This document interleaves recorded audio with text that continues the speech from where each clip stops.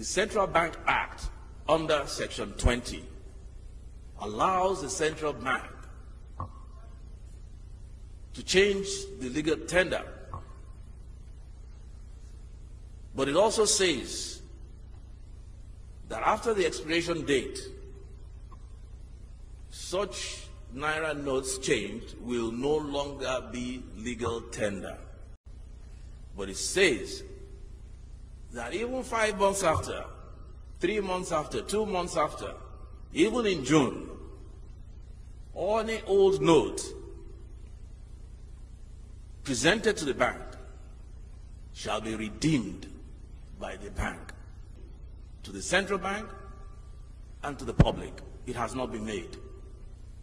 It is a provision of law. Let me explain that again. The Central Bank Act under Section 20 allows the